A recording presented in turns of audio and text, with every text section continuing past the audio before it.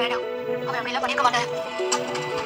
நம்பி கேட்காத நீ டிரைவிங் கிளாஸுக்கு போனதுக்கு உன்னை பத்தி என்னென்னமோ சொன்னவன் அவளை மட்டும் நம்ப பாத்தியா